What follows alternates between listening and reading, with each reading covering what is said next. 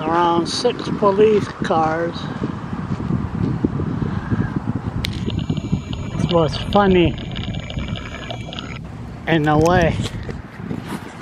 So anyway, I was uh, yakking somebody with somebody on uh, Regent Street, and I decided to go home. And next thing you know, I hear some sirens just going, and I saw them turn in the parking lot at Sobeys.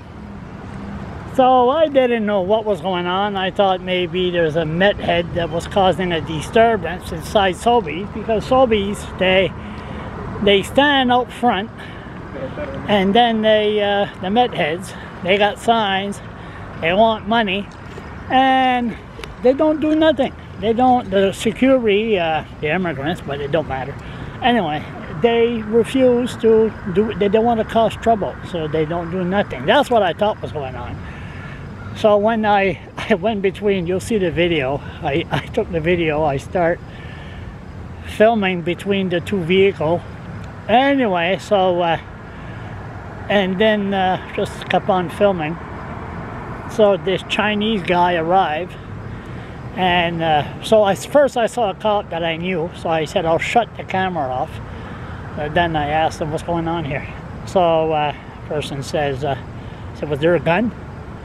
That's what the Chinese said. He said there was a gun. So he told me no that it was uh, was a fake gun. So I saw them arrested a female. So uh, so me and the Chinese guy were talking and this cop arrived with a rifle.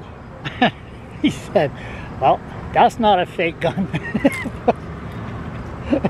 As a matter of fact, it was the same cop that told me yesterday when I was filming the uh, Palestinian at the New Brunswick legislator to uh, to uh, to shut my camera off, and they said he was with a rifle.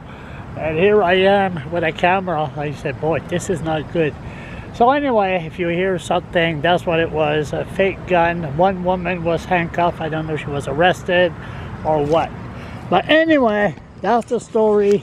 That, oh, look at that. They're all gone now. So it was a little bit of action. So, tout fini.